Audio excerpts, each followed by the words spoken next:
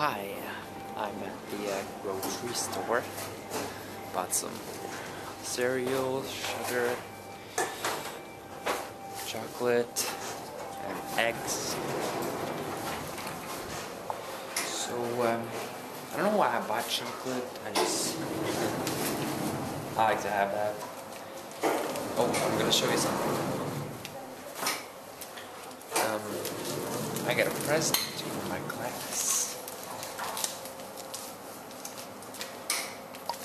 These are the things I got. And one more. We pick people at random. And uh, then uh, people get uh, gifts from each other. So I got these. I'm pretty proud of getting so many chocolates. I gave balloons.